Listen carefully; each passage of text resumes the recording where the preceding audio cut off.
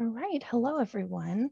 So before we get started, Third Place Books would like to acknowledge that we are on the unceded ancestral land of the first people of Seattle, the Duwamish people past and present, and honor with gratitude the Duwamish people and the land itself.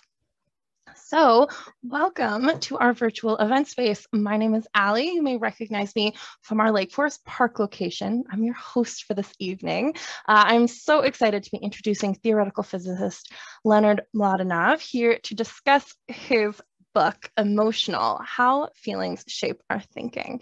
Uh, but before we get into the good stuff, on behalf of all of us here at Third Place Books, I just want to thank you all so very much for tuning in. For those of you who may not know, we are an independent bookstore with three locations in the Seattle area. And as much as we miss having these events in our bookstore, it has been such a delight to expand this online program to connect readers and authors in a virtual space. So thank you all so much for tuning in and buying books. Your support is what makes all of this possible. If you haven't gotten your hands on a copy of the books that come up this evening and you would like to, I will be linking books in chat. For those of you in the Seattle area, come on in and grab a copy off the shelf, or you can place an order online and come pick them up in store. Or if you're not local or not leaving the house, we of course ship. So go ahead and follow those links in chat over to our website.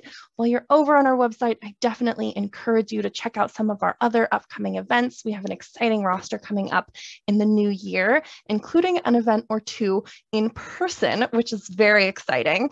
Uh, if you'd like to stay in touch with our community, you can sign up for our newsletter. It's a weekly update about events and exciting releases, our online book clubs, and of course, follow us on any of the major social media platforms. We are at Third Place Books for the quickest updates and recommendations. So tonight we are here for about an hour and towards the end we will be taking questions. So if you have any questions, which we very much hope that you do, go ahead and leave those in the Q&A box, which should be either uh, on the top or bottom of your screen. It is different than the chat box, which is great for virtual applause and connecting with each other. I absolutely invite you to share where you're tuning in from in the chat. But when it comes time for questions, do make sure those end up in the Q&A so we can most easily find them. While you're in our chat and question spaces, I want to remind you to please lead with kindness and refrain from any inappropriate behavior or harassment. For anyone, there are generated closed captions available from the menu at the bottom of your screen. Slowly live transcript button to disable them. Um, and finally, should any technical issues arise, we will work as quickly as we can to resolve them, and we appreciate your patience and understanding. All right, so now it's time for us all to settle in because without further ado, I, am so pleased to welcome Leonard Mlodinow, author of best-selling The Grand Design, A Briefer History of Time, both with Stephen Hawking. PEN uh, slash E.O. Wilson Literary Science Writing Award winning Subliminal, The Drunkard's Walk, and Elastic. He received his PhD in theoretical physics from the University of California, Berkeley, was an Alexander von Humboldt fellow at the Max Planck Institute and was on the faculty of the California Institute of Technology.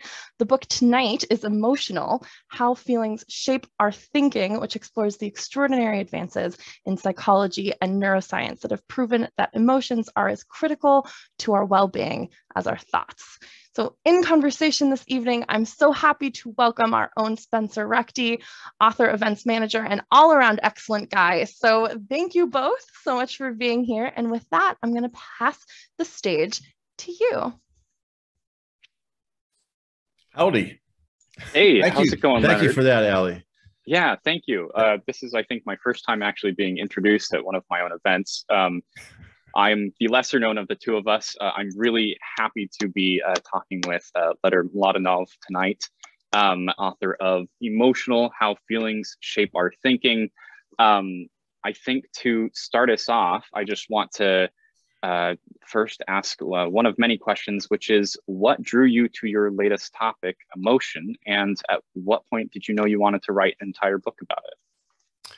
Oh, that's a good question. Uh, I am a theoretical physicist, and I started my career writing books uh, more related to that. I wrote, as you, or I think Allie mentioned, The Drunkard's Walk, which is about randomness and how it affects uh, your life without your being aware of it and how to how to recognize that. And I wrote a memoir about Richard Feynman. If any of the uh, viewers uh, know him, an iconic physicist that I was lucky enough to know in my days at Caltech, and the books with Stephen, Stephen Hawking, and so on.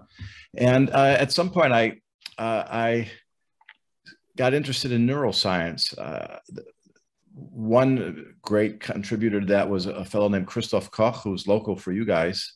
Uh, yeah, that's right. He, mm-hmm. Yeah, he was at Caltech, and now he's up in the Seattle area at the Allen Brain Institute. And he was an eminent uh, neuroscientist, and he studied um, consciousness. And I got interested in consciousness through him, and thought I'd be interesting to write a book on that.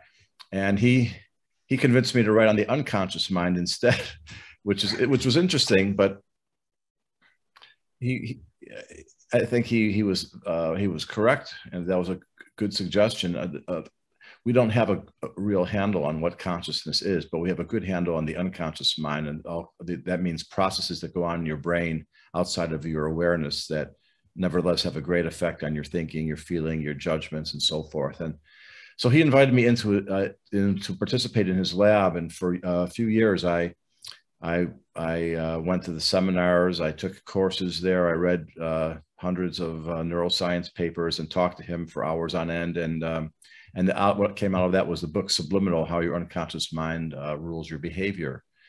And I had a lot of fun with that. And I also realized that I learned a lot about people, and in particular, this one, myself. And it, it really, I, I, thought it really helped me in, in my life and it, it really raised my consciousness in many ways. So after that, I, I've uh, written two now two more books on psychology slash neuroscience. The last one, Elastic, was about where ideas come from and creativity. And as I sat down trying to think of whether I wanted to write another one, uh, I, I, realized that through another friend of mine, Ralph Adolphs, who's a, a very famous uh, neuroscientist who does emotions research, that that emotions was a really a good topic, somewhat parallel to the unconscious mind, because uh, like like the unconscious mind and emotions have a component that's conscious and unconscious but um, like the unconscious mind uh, emotions uh, have a, a, great effect on our thinking and our decision making that we're not uh, often aware of and you can learn a lot by understanding where they come from what emotions are why we have them and in particular that they're productive and not counterproductive that they're they're very useful uh, I, I I grew up in a, a culture, I think in the American culture that mm-hmm. male American culture, where it's mm-hmm. emotions are somewhat frowned upon and you're supposed to suppress them or not feel. And um, it's a little bit easier for women to get in touch or not that it's easier for them, but it's more acceptable or more culturally rec- yeah. recognized culturally that they do that. But, but in general, emotions had a bad reputation. I'm going, well, not from what I'm reading here. and in fact, uh, I, I realize that, that uh, the field of emotion research has exploded in the last 20 years and it's been revolutionized. And so that was very exciting for me to, to realize that. And Ralph, Ralph encouraged me not to write the book, saying that uh, it was that it was uh, too much drama going on in the field and too much new stuff, too much new stuff coming out, and the revolution happening. And i thought well that's for me that's exciting. I you know plus it means that there aren't a lot of books uh, there weren't really when i started writing this there weren't really any on on, on the new yeah. uh, science of emotion. So so i got excited by it and um you know it's a very long process uh and uh arduous process writing the book but i i learned a lot from it and and i changed the way i think about myself and i'm hoping that that will be true for readers as well Absolutely. Yeah. Could you actually talk more about that drama? It's something I'm very interested in. Some of the some of the drama of emotional or like psychology and emotion science uh, over the last uh, 20 years. Well, so. th- there's uh, old ideas die hard. yeah. So uh, I, I, in the book, I talk about a few different threads that, that uh, of uh, struggle, and I'll just I'll mention a couple. Yeah.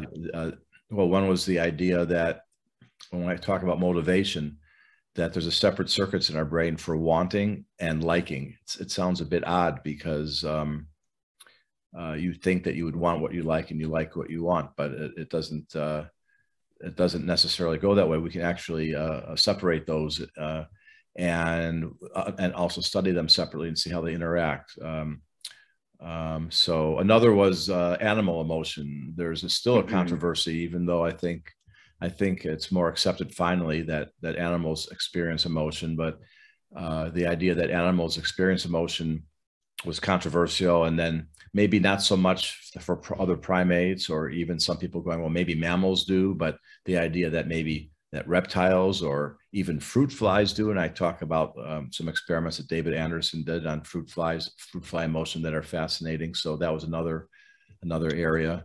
Um, there's a, there's a, still a lot of controversy about how emotions are formed in your mind.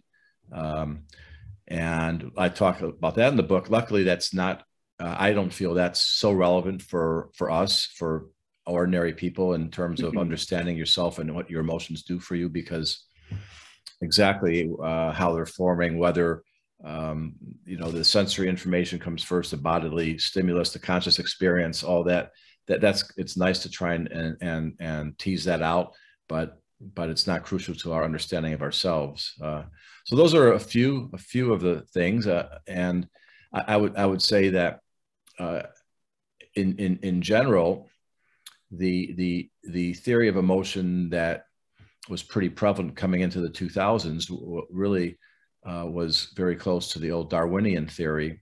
Mm-hmm. And I'll just, I'll stay with that is, uh, and that, that'll, um, and then I'll say what's changed. and that's a good uh, descriptor of, in general, what the revolution is.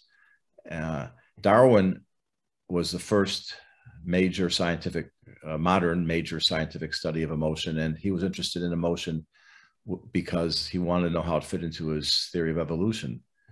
And he studied all sorts of animals, in particular their facial expressions. And he studied um, emotion in other human cultures. And he came to the conclusion that uh, emotion plays an important role in animals and their communication since they don't have language. So, am I happy with you? Am I angry at you? Uh, questions like that, warnings. Oh, there's a predator nearby. Get you know, get out of here, or uh, you know, situations like that. And and and in terms of humans, he saw that humans had those same emotions, and that we have uh, similar expressions. He he, he thought uh, facial expressions, and he felt that they were universal amongst all cultures, and that they were you know just another uh, um, advance from the animals but and he felt that we had six basic emotions um, anger fear happiness sadness surprise and disgust and and that they were all distinctive uh, unitary emotions. There's one kind of fear there's one disgust those are singular emotions and that there's no overlap and and he studied uh, or thought about how uh, our nervous system is connected and uh, and eventually, in that theory, it was incorporated that each emotion has its own part in the brain. So that was kind of the theory, kind of intuitive mm-hmm. theory that he came up with. And he felt that emotions were not useful in humans, that they were a vestige and no longer needed because we do have language um, and we have rational thinking, uh, which is a higher order of thinking and, and, a better kind of thinking. And we should try and uh, not to have emotional influence. Yeah. So those are the tenets, basic tenets of, of his theory. And um, they're all wrong. Every, everything I just said turns out to, to, be, to be, wrong. So the revolution was uh, debunking all of that and getting people to accept the new the new ideas that replace those.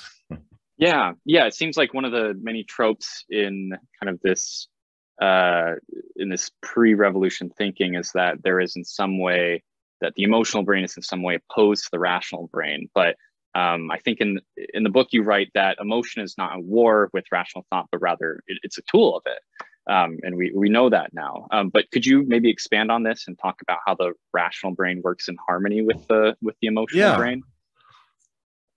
And that's an important point.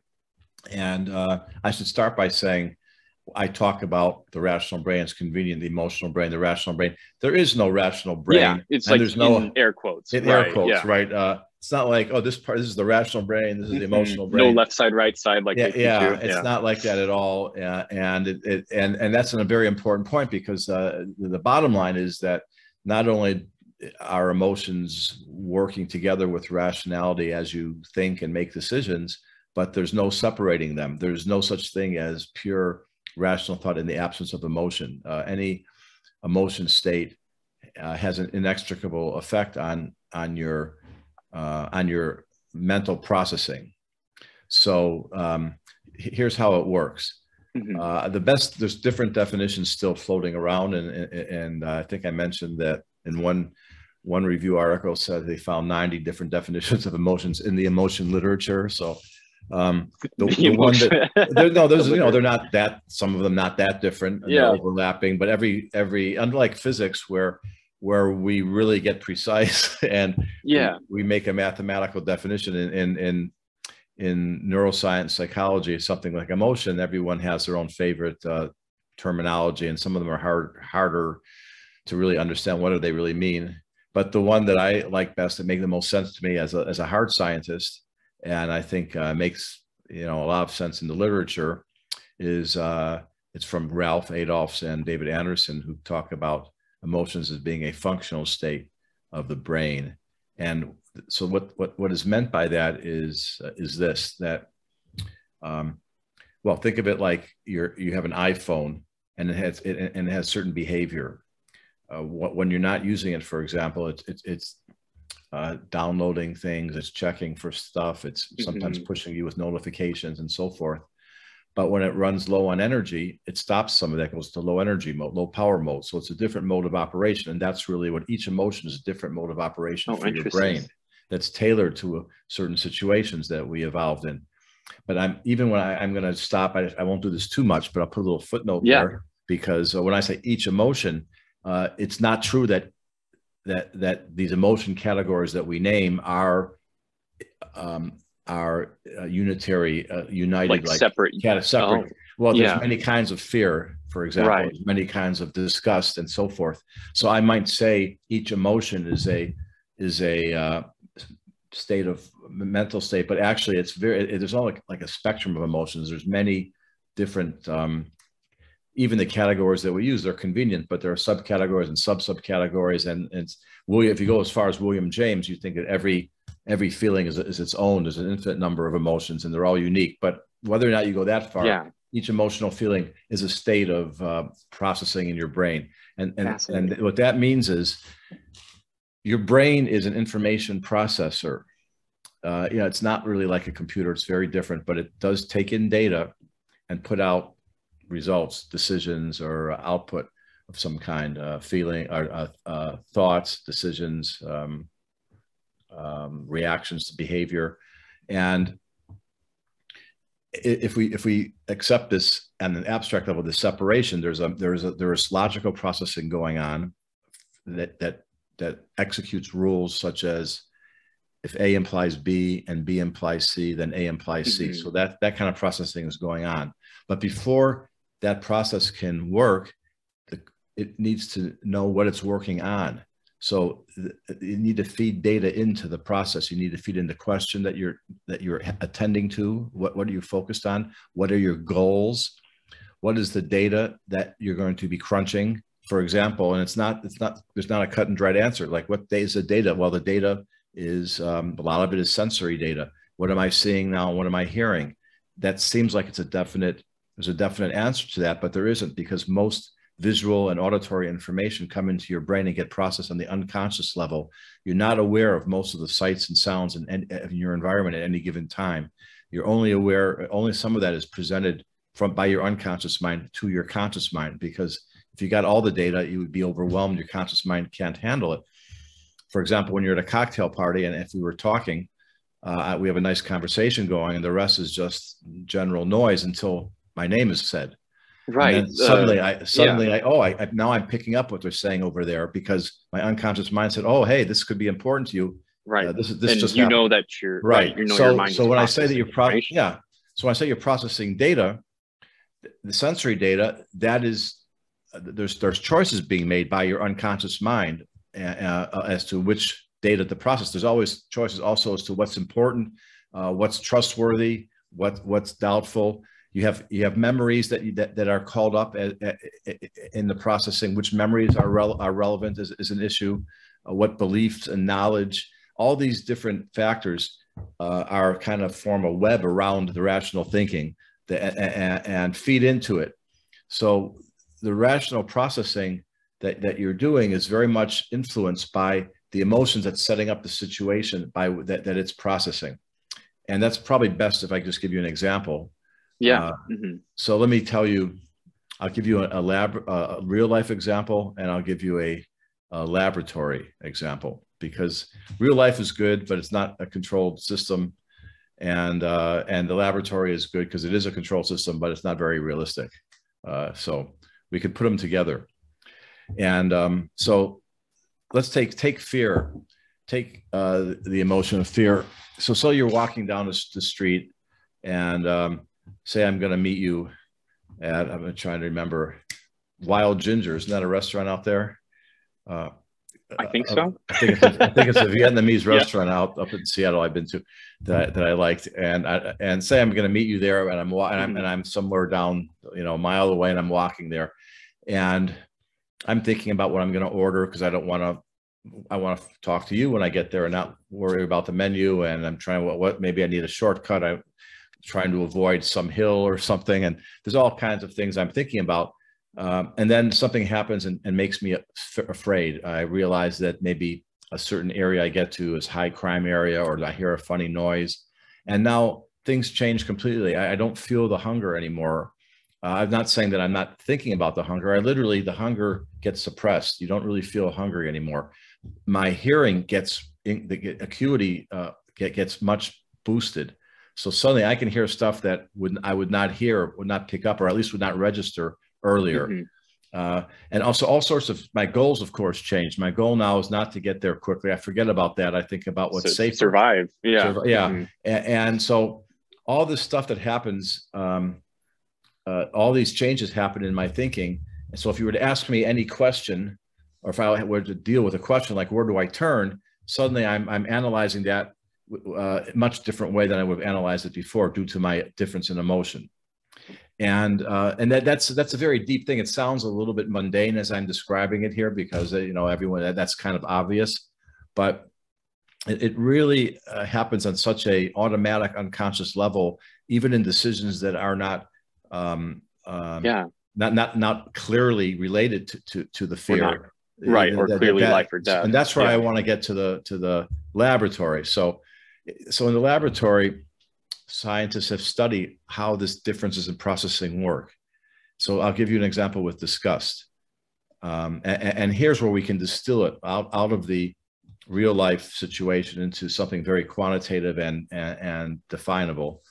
Um, disgust is associated with a tendency to to rid yourself of things, to expel. It's not just, of course, to expel what's in your mouth. If you if it be, if you, you eat something and then it, it smells funny and it's disgusting, yeah. you want to spit it out. But but more generally, the emotion state of disgust has to do with a more general uh, tendency to expel things and to rid yourself of things, to unload stuff.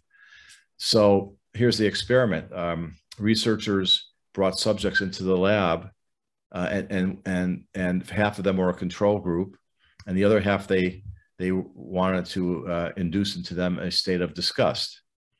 And then they were going to do a, a, a, kind of a sham experiment. I forgot what they were doing, but so something to make them think this is the experiment. But then the real experiment came. Uh, as they were leaving, the experimenters asked to to buy back a pen they had given them at the beginning and so and, and they, they had re- repeated the experiment in one version it's a gift box that they had given them so yeah so now the idea is that uh, the, the, those in a state of disgust well they're all both doing the same processing. What is this what is this worth? What kind of pen is it? Uh, how much do i care for it? What does this mm-hmm. brand sell for? Or whatever you're thinking about. And then you pick okay here's my price right?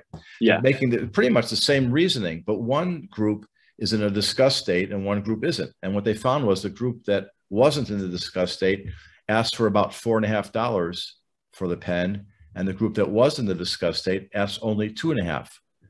so without them realizing it, this was affecting their their economic reasoning, yeah, or economic thinking. Uh, without them even realizing, and when, when they asked them later whether you know they were they would interview them, they they they denied that that that uh, discuss had anything to do with how much money they asked for. And uh, so that's the kind of um, that's that's kind of how emotions uh, uh work uh, working yeah. brain along with your rational rationality. Yeah, I think that's a great example of how, um, uh, yeah, like he's in a laboratory setting, like that emotions can be quantifiable. Like you can put a, you can put it like a, almost like a, literally an economic number um, on an emotion. But I am curious, as, as someone who you know started off in hard sciences, physics, and mathematics, um, it must have been kind of a culture shock then transitioning to psychology, where a lot of the uh, research involved is it's very even though there are attempts to kind of quantify emotions or the ways we think or the way the brain works um, on a you know conscious level it's or unconscious level it's very difficult to quantify uh, emotions on a research methods level. Um, so i'm curious what uh, you know what are some of the ways that emotions are quantified uh, in a way that can be studied um, you know whether by neuroscientists or health professionals and how has that changed over the years well, the simplest is, for instance, in this experiment, how do they know that they have induced a disgust state, right? They, yeah. Uh, so they, in fact, when the, this experiment was first done, they they failed. They um, they they put the kids, the subjects, they brought them into a room that had old pizzas laying around and half drink milk, drank drinking milkshakes that had dried up and crap on the floor, you know, garbage and stuff, and then and then and then when they before they did the experiment they they they would give them a questionnaire and they would try to determine whether they had induced a disgust state.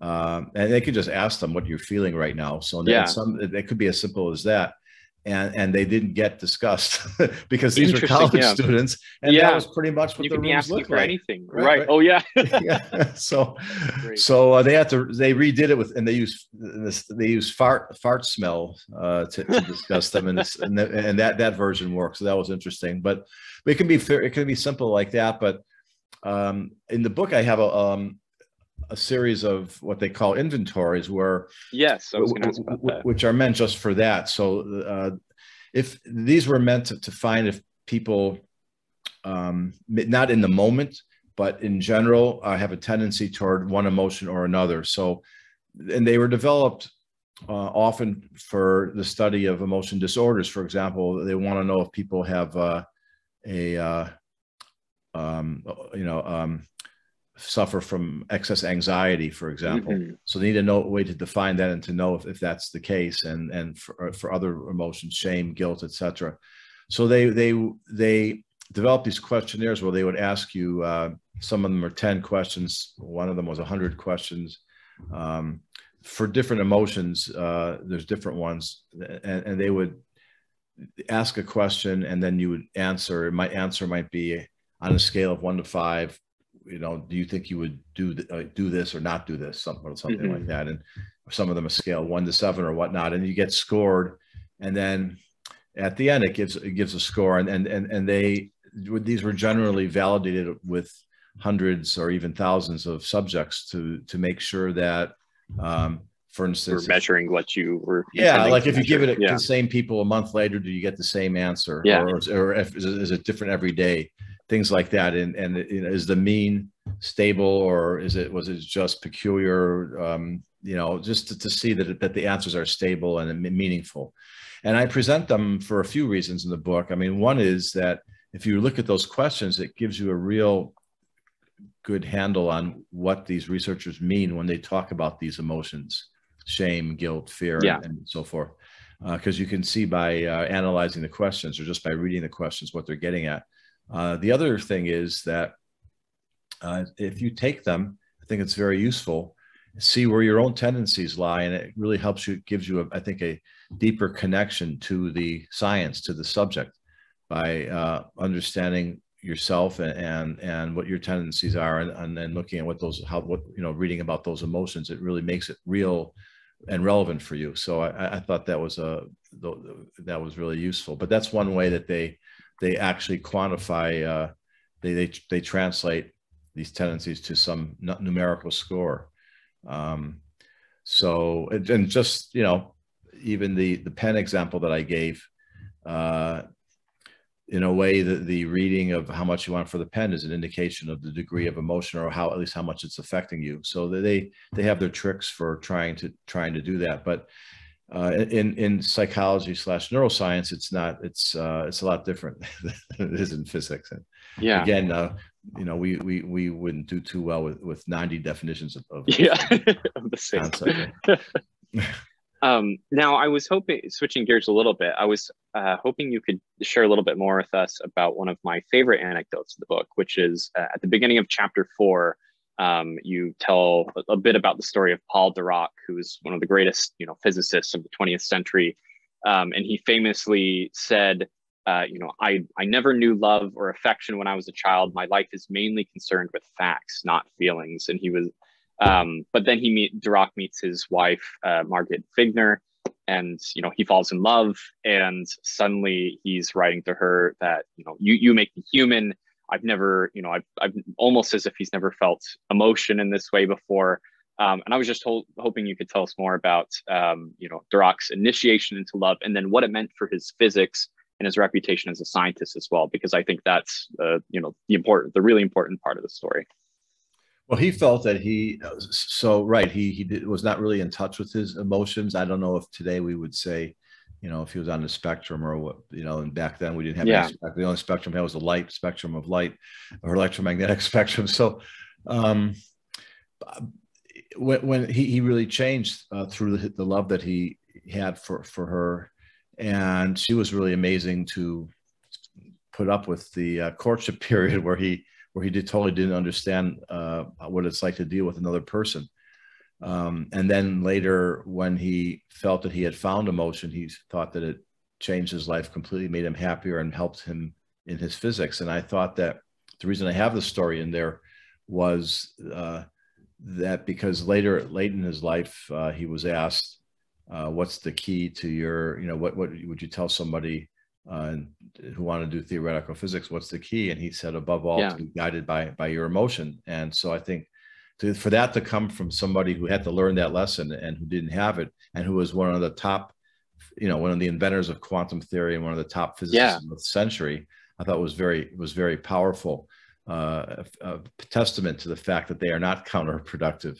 And and you know it, it's the, the same for the same reason that really that i was talking about when you're doing your rational processing with your emotion. When, when you're doing physics yes it's mostly mathematics but that mathematics is not done in isolation. Um, as you're as you're doing it, you have to you, it, it's not as cut and dried as you you know people think. You you you you don't know which way to go.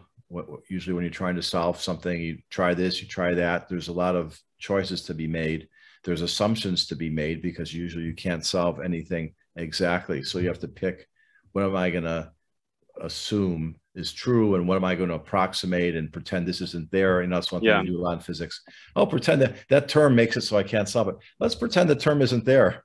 Let's yeah. solve it, and then let's try and let's try and pretend we know what it does, what what the effect would be of putting it in, you know. Right. And and um, so, and all of that, uh, all of that is very much uh, um, governed by by your emotions and your um, your your unconscious mind and your emo- and your feelings. And, and, it's really that that makes someone a great physicist and that's where creativity mm-hmm. comes from too. It, it's not so it's not the the you know grinding through the uh, the rules of mathematics to just blindly calculate it. It's it's much much more than that. And emotion uh, plays a, an important role in that and that's yeah. what I would say. Yeah i really can't imagine you know, like thinking about Richard Feynman or uh, or like you know, not just physicists but also you know astronomers like you know Carl Sagan without thinking about emotion. I mean, I think that's how, especially in the popular imagination. Um, yeah, and then of course, that, at least to me, yeah, into mind motivation too. Um, yeah. So I have a chapter on motivation, a chapter on determination, which are have to do with feelings, um, not not necessarily emotions per se. It's related to emotion. Um, and I thought it was important to put in the book because without these kinds of feelings, it's important to realize you would not do anything. You would not yeah. start to talk. You would not get off your chair. Why mm-hmm. do you do anything? Uh, you do it because uh, you have a goal, you have a desire to achieve something. You have you, you, have a feeling that you want something to happen or don't want something to happen. That's yeah, fear, desire. Exactly. So we know that you have your wanting system and your liking system. Well, that's that, those are feelings. And um, I wrote for Star Trek: The Next Generation uh, back in the day, I know oh, you, you did? I, I had TV. no idea. Yeah, no, uh, I wrote for MacGyver too, and a bunch of shows. Uh, and uh, we had a character named Data, who, yeah. who supposedly had no emotion. Uh, now, the earlier uh, series, uh, the original Star Trek had Spock, who had half mm-hmm. half human, so he could have some emotion. But Data had no emotion, and back then, had I known what I know now, I would have probably uh, I was on writing staff for a year, I would have had some arguments with people about what Data would and wouldn't do. Yeah, because uh, well, because his character evolves in a in a way that's interesting. Uh, well, you know, because that's, that's a classic plot point too.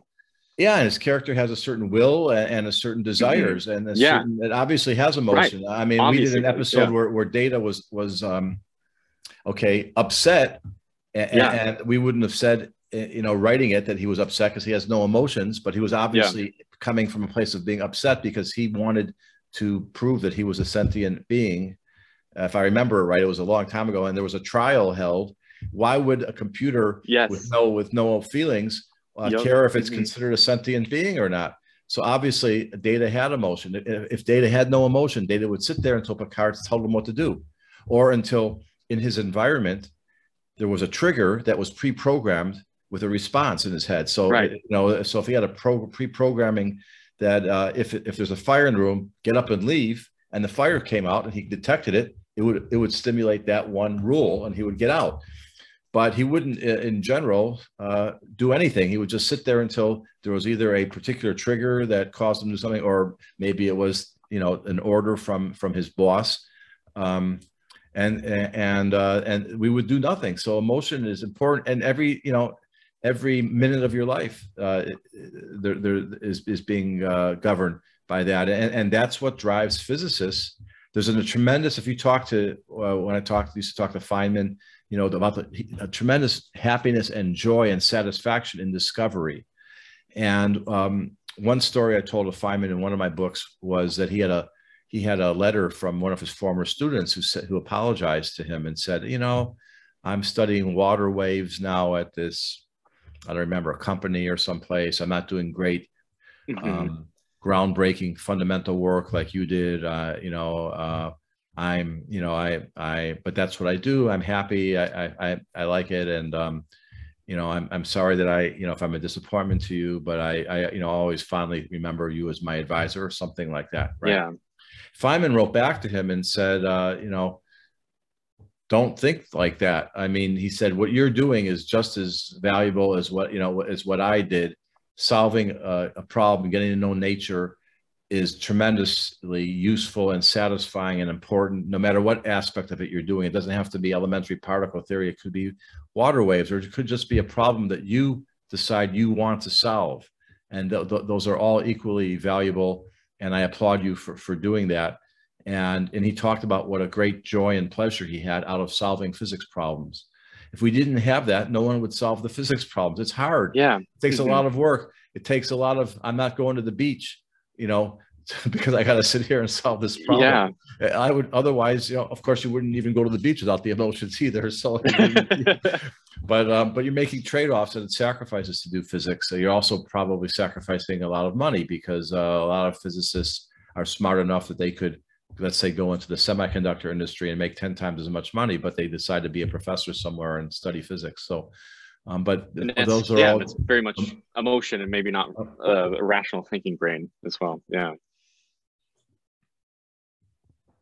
Yeah um yeah well yeah that's a wonderful anecdote. I really, really love that uh, story about richard feynman which is something i've uh, heard before. Um, i was also hoping uh, just kind of from a general overview perspective if you could talk about also um, what how you approached putting together this book as well you know chapter by chapter like how did you decide what what you were going to talk about and what was going to go in here?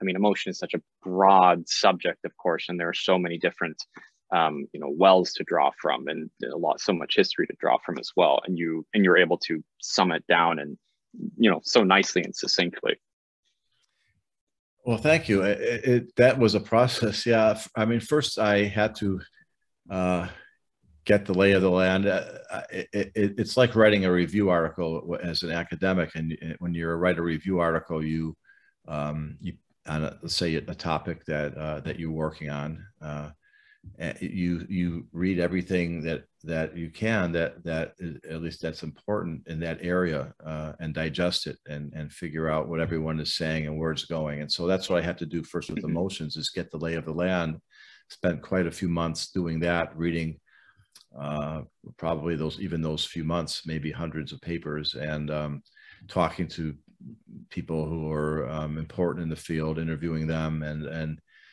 getting a feel for the subject because it's being that it's being revolutionized there's there was a lot going on and i had to i had to make sense of it as a whole co- coherent uh, part and and and get, become able to ignore the little details that aren't important and to get what understand what really is. And so that eventually crystallized into the different chapters that i have. So at the end for example there's a chapter on regulation uh, how, when your emotions are become counterproductive uh, kind of I, I, like the analogy with optical illusions or mirages. Your eyes sometimes make mistakes so do so do your emotions and they can be exaggerated uh, over overstimulated or sometimes they persist too long um, because emotions have that quality of persistence. So you could be angry about something and now five minutes later you're in a completely different situation but you still have the anger from before. So how do you regulate and control that? So that there's a chapter on that there's a chapter on the emotional profile that we talked about where you can take these inventories and see how you stand in the, these different areas. And you know there's so forth. There's a chapter on what you know the, the effect of emotion on your thinking. How does emotion mm-hmm. affect your thinking? So i, I picked uh, whatever i thought were the would be the big areas to talk to and talk about and, and how they fit together. And then i then i would in each one i would dive back in and start studying it again. And um, and learn as much as I could and try, you know, to, to figure out what what's important there, what's the latest, and what uh, you know to say. And when I got that figured out, uh, I, uh, I, I I had to figure out how to say it.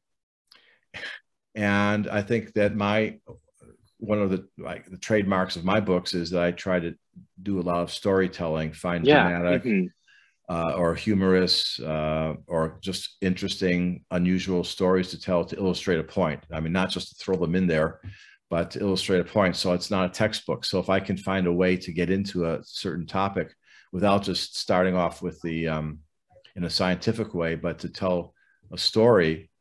Um, and then at the end, that story has a punchline or a point, and then I get into that point. I, that's a, that I think that makes it much more fun for the readers and more memorable for the readers too. And mm-hmm. it's certainly also more interesting and fun for me. And based on my old days of storytelling in Hollywood, and uh, you know, I used to write short stories since I was 10 years old. I, I think I have a knack for for for telling the stories, and I put in a lot of lot a lot a lot of effort in finding the story. So I have some very unusual yeah. everything from head transplants uh, to um, a guy paying his friends to shoot him to get sympathies from his girlfriend. And I mean, there's just so much that, that Heath, the, the researcher who's sticking electrodes into people's brains, trying to give them orgasms. Yeah. Half the time, he's, yes, he's, yeah. he's killing them instead.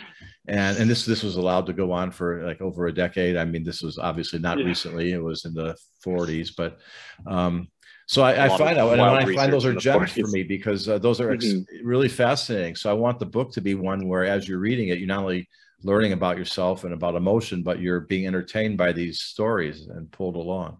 Yeah, no, that's yeah. that's one thing I really love about your books is that the, the case studies are so interesting, and it's so and it those like the case studies alone drag you along through the you know the the narrative that you're telling. Um, could you tell could you tell us uh, some of the most or so, I guess maybe some of the case studies for this book that that surprised you most?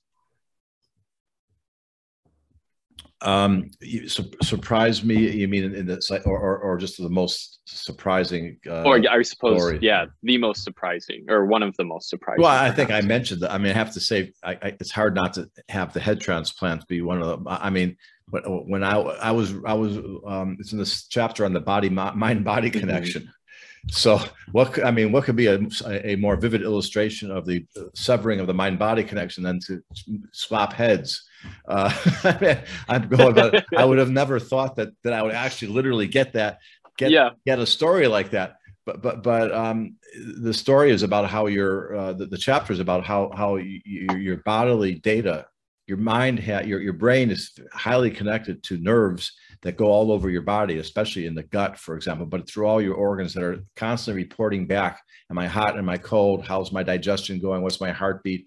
And, and your brain, it got it has to balance all that to keep it right and to predict what's going to happen and and and, and account for it. Like if, if you stand up your brain doesn't wait till you stand up to change your your blood pressure. You get faint and you set back down again. It, it, it as you're standing, it's preparing you for that change. Mm-hmm. So uh, um, there's a very tight connection there, but uh, and there's there's interesting. I mean, other interesting story about fecal transplants, and you uh, you know you can they they grow they raise mice to have a sterile gut and then they they they, they, they and then they have two kinds of other mice, uh, uh, like nervous ones and calm ones, and they'll they'll do a fecal transplant from the nervous ones into the blanks, and these these these mice now end up being nervous, and they put the calm one fecal transplant into the other others of those mice, and they and they're calm, so that they took on emotional characteristics based on a fecal transplant. I mean, it's crazy, amazing stuff.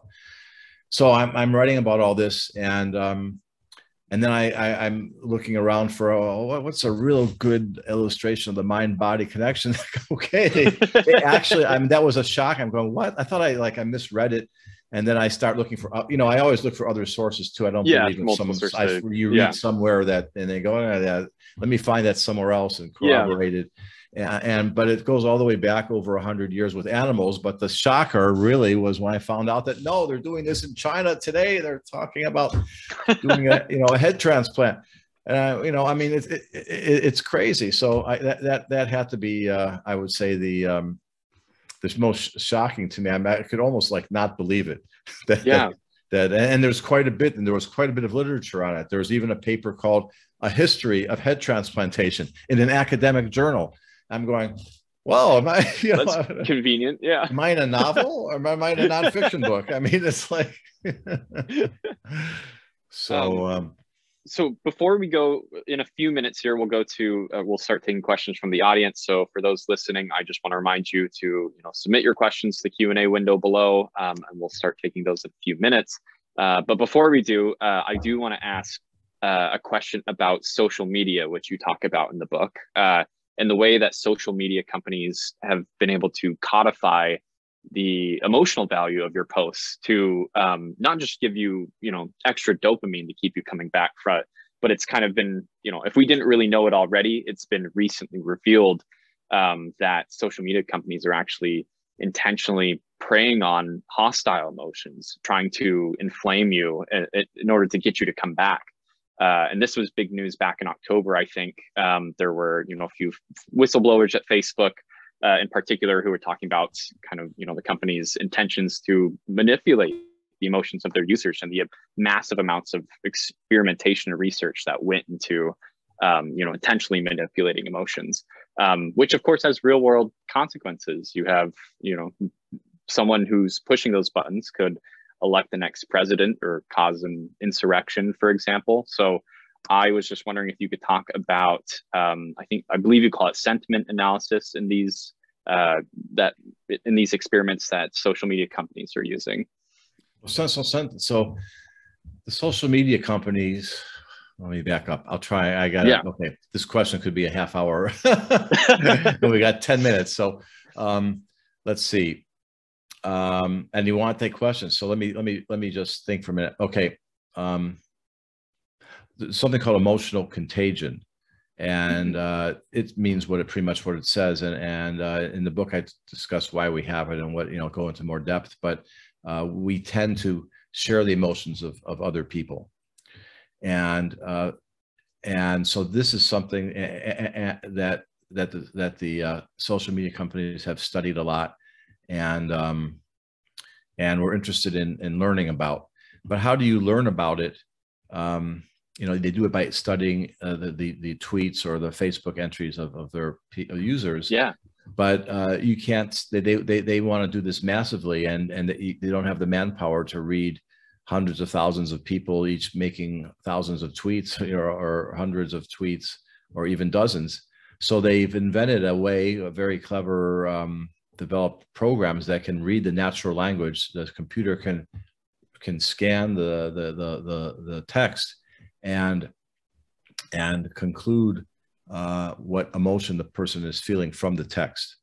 Um, so this is something that human could do. Like if, if you say, you know, that goddamn car cut me off, you know that the guy's angry, right? Well, the computer knows it too now because that's what sentiment analysis will tell him. So, uh, you know, um, so they, they've used that and, and, and they're, and what they're doing is using the emotional contagion to really pump up their, their usage because, uh, for example, fear and hatred are very strong emotions. And, and, and, but when you are exposed to it, you tend to go along with that. And then you'll go back to their web to their um, app and and you'll enter you'll jump in and and and and and that way it's like a vicious circle and it builds on itself but it builds on itself on their platform which is what they want you to do so yeah kind of a quick summary that's yeah those are the kind of, and there's some very interesting scientific studies that have come out of that by the way uh, you know along the way that that are interested for scientists but that's that they're doing it for these more i think i'm afraid uh less constructive uh, purposes. yeah. Well, great. That uh, that leads us to the audience question portion of our um, of our program tonight. Uh, we have about seven minutes left here. Uh, let's see. So our first question comes from Melissa, who says, "Is it possible to truly separate or gain distance from emotion when one becomes aware of it rationally?" Um, this idea, I believe, is consistent with the concept of quote wise mind but i suspect it's not so easy to do successfully unless over time those emotions diminish when faced with rational interpretation well uh, so that's emotion regulation is is possible uh, it's possible to diminish or change the emotion that you feel uh, and there are uh, several methods that i go into uh, let me start with the one that yeah. you don't shouldn't do and that no. we talked about that briefly at the beginning. Um, suppression. So uh, a lot of people, especially males, are taught to suppress their emotions. So if you if you get angry at someone who cut you off uh, on, in traffic, uh, maybe you try to just not feel it or suppress it or think about something else. That doesn't work very well, and it's also harmful. Uh, people mm-hmm. who who regularly suppress emotions have more heart attacks and die tend to die younger. Um, it's not a good thing to do. It, it, the emotion doesn't really go away, and and the stress, uh, your body gets stressed, and that's that's not healthy. Um, so that's one one way, not good. Um, expression is is another way, um, meaning uh, it, to just talk about your emotion. So you, uh, your the question had to do with rational thinking, but it's almost expressing what your feelings tends to diffuse them. So I don't know if you if you ever had the experience where you, you get really mad. I worked in a corporation for a few years and mm-hmm. and, and, you write a flame mail, we would call them, right? A, an email that an angry email. and I would twice I would, a week. Yep. Yeah. So yeah, and, and, hopefully you put it in in a you put it aside and don't quite mail yes. it yet, and then the next day you look at it and uh, oh I better not mm-hmm. mail that. But meanwhile, it, it diffused your your your anger so that's a good uh, tool that you can you can do it talking to friends. There's different ways yeah. of doing it. Um, no, all the time. Yep. There's reappraisal is a, a, way of doing it where you you you spin doctor it. So um, let's say the guy cuts you off, and you're angry because you're thinking that I don't know that, that was insulting or he was being disrespectful to you or selfish. Uh, he's an ass. Whatever whatever thoughts are going through your mind, you could choose to reinterpret that. go well, maybe the person, the poor person's in a hurry is late for something, um, uh, you know, and, and, and had and, and is just doing that out of out of that focus, or maybe that person is just oblivious and didn't realize that they even cut me off and they're just a bad driver or whatever else you yeah. can do. And you focus on that, and then you, are not angry anymore. And the thing is that your brain, when it when it's making sense of what's going on, takes into account the situation and your knowledge and your beliefs and whatnot, and eventually a feeling comes out of that and, and uh, you, you, can with your rational mind you can divert that kind of you can you can change that appraisal of what of what is going on to a reappraisal by with your rational mind by thinking about things in that in that way you have to have to believe it you can't make up a story and say i'm going to think it was that because i want to feel mm-hmm. happy and not angry but you don't believe that so you can't do that but you have to convince yourself or find other uh, you know spin on it that that that is reasonable to you and, and just think of it learn to right. think of it that way so there's a lot of different ways that that you you can use your rational mind to regulate. Great. Uh, yeah, thank you. Uh, let's see. next question comes from Mason, who says, uh, and this is a good kind of finishing question, I think, as we wrap up here. Uh, what are some of the unresolved questions of emotion, and where is the research going to take us next? Ah, well, that's always a where are we the, going? The, like into the future, yeah. Uh, well, I, I mean, in science, asking the right question or going in the right direction is a large part of the battle.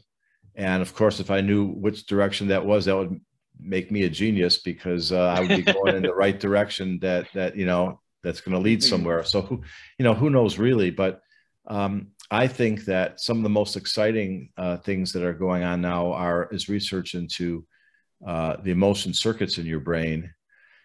That's a be careful when I say that. I don't mean that there's um, necessarily dedicated mm-hmm. circuits, but but each emotional uh, situation or incident certainly has its tracings in, in your brain and to understand how that works and that and how everything is connected is really important um, and i think will lead to a better understanding and we used to think it was very simple that there was a different structure or a combination of a couple structures for each emotion like in the 90s people thought the amygdala was fear right and, yeah now we know that i think sometimes they still teach that uh, well, yeah, not, you know, yeah. First of all, there's many different kinds of fear, and the amygdala isn't even involved in some kinds of fear. For example, fear of suffocation that does not yeah. involve the amygdala, and and, um, and it is involved in other kinds of fear, but it's also involved in other emotions. It's involved in many emotions. So why are you calling it the fear emotion? Not only that, it, uh, the fear organ, it's it, it's not even a singular organ. The amygdala we now know is made of uh, uh, we identify a lot of organs within it suborgans so to speak. So even calling the amygdala a thing is is maybe not quite so precise. Um, so it's just very complicated but we're now um, having new technologies that allow us to to trace uh, which neuron is connected to which other neuron and kind of get a wiring diagram for the brain and to and to look at how you know which networks are being activated uh, in in what situations. So for for example, we know there's a uh, there's a network in your brain with different nodes in it that, if if stimulated, make you feel determination. And it's not determination to do anything like to climb a mountain or to finish the physics problem. It's pure feeling of determination. So mm-hmm. that's kind of that's kind of interesting. And you know, based on those, the knowledge that we can get that way, the hope is that we can develop um, drugs for um, to take care of disorders or uh, other techniques like transcranial uh, electric stimulation and um, or just a better understanding of, of, how the different parts of the brain work. So I, I think for me that's uh, kind of an interest, very interesting uh, and really exploding uh, area of, of, research, but very very difficult. It'll be many years I think before we really milk that. Yeah. Um, be, because you know just because you know how things are connected doesn't mean that you you know what it does? So, yeah. Yeah. Yeah. Well so. yeah wonderful. I mean difficult but it sounds like exciting. So i am yeah. uh, i'm really grateful for your time tonight. Uh, everyone the book is emotional. Uh, we have copies here at third place books at each of our stores at lake forest park ravenna or seward park here in seattle um, or you can go online to thirdplacebooks.com or walk down the street to your local independent bookstore, uh, no matter where you are in the country. So um, I just want to thank you all again for coming out tonight. And uh, on behalf of the bookstore, uh, please be well. Thank you for a great talk. Absolutely. Yeah. Thank you so much, Leonard. Have a good night.